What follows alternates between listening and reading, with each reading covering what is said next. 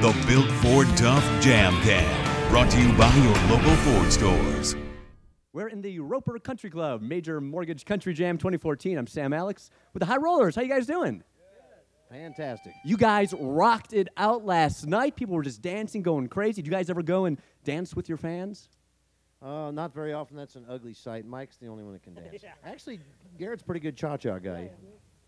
Are you going to be on Dancing with the Stars? Um, probably not anytime soon. No. Can you introduce everyone here and tell us what their favorite food is or something unique about them? Uh, something unique about Ryan McCurry, the keyboard player, is that he's the only one in the band with long hair. Uh, here's Jeff. Jeff Johnson here from Oklahoma, Oklahoma City, and uh, he's got too many unique things about him. He loves trains, toy trains. We got my, we got Mr. Mike Canterbury. He plays drums. He's very unique. He also can sing like June Carter.